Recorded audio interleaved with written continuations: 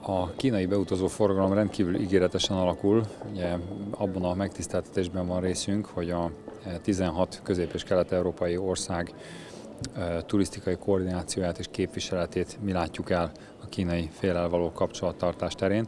Egyébként hat ilyen téma van, a mezőgazdaság, infrastruktúra fejlesztés, kereskedelem, önkormányzati kapcsolatok felsőoktatás terén. Ezt más országok látják el, például Lengyelország, Bulgária, Csehország.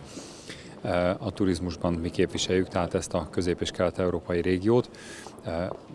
Magyarországon jött elsőként létre a turisztikai koordinációs központ, és nagyon sok munkánk van abban, hogy ezt az egész régiót megfelelő szinten és megfelelő rangra emelve lássuk el a képviseletet Kína felé.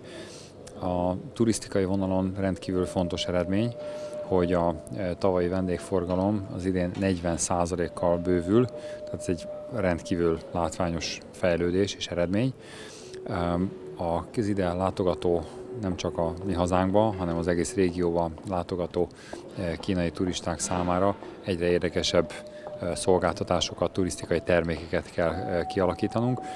Nyilvánvaló elsősorban történelmünk és a kultúránk miatt keresnek meg bennünket a kínai utazók, de hogyha e- olyan egészségturisztikai szolgáltatásokat is tudunk nyújtani, mint a hagyományos magyarországi gyógyvizeken alapuló e, gyógyturisztikai szolgáltatások, vagy pedig akár a hagyományos kínai gyógyításnak, a kínai orvoslásnak a szolgáltatásai, akkor én úgy gondolom, hogy a magyar turizmus kínálata e, rendkívül szépen, látványosan fog bővülni olyan téren is, amely a kínai turisták számára az ő érdeklődésükre igényt tarthat.